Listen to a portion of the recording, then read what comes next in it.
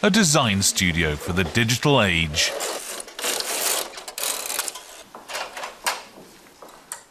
Design researcher Gesche Joost and her PhD students are creating clothes which in a few years are expected to be everyday garments. Like a cardigan for stroke patients. So here we have a tiny microcontroller, which is like a mini computer. It's attached by Velcro, so it can be removed for washing. If I have an emergency, I just have to make a certain gesture. In this case, touch my chest. And then a phone call is made via Bluetooth on my smartphone, which I have in the pocket down here. Other clothing gadgets are designed to gather information. Sensors can be built into my sneakers, for example. And then I have an app that allows me to track how fast I've run and compare my performance with friends. I think these things will soon be common in our everyday sweaters and jackets.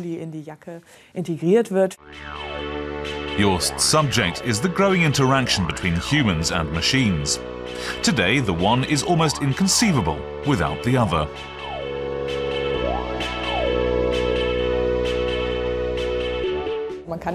You can no longer say that's the digital world and that's the analog or real world. Everything is linked together so that we have one blended entirety. Digitalization offers society many advantages. The flow of traffic can be optimized, energy networks made more efficient, and there's huge potential for savings. But there's also one major disadvantage a loss of privacy.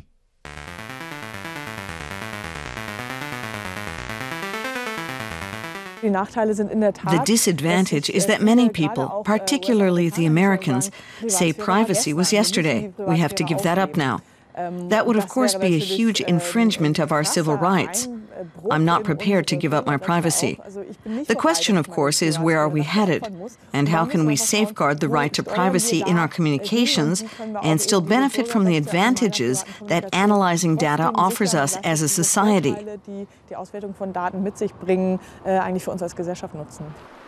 The volume of digital data worldwide doubles every two years. And there are constantly new inventions, like Google Glass. Glasses with a mini computer built into the frame.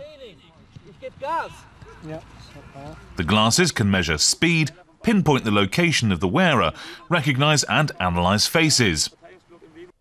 Joost sees it as a surveillance tool disguised as a lifestyle product. Here, there's no mention of tracking people, reading their social profile, and that you immediately get all the information on the wearer's social activities. It's made to appear totally harmless. I think this here is quite extreme. All the images show young, sporty super people using it in a harmless way. Gesche Joost sees it as part of her job to sensitize the younger generation for a life in the digital society.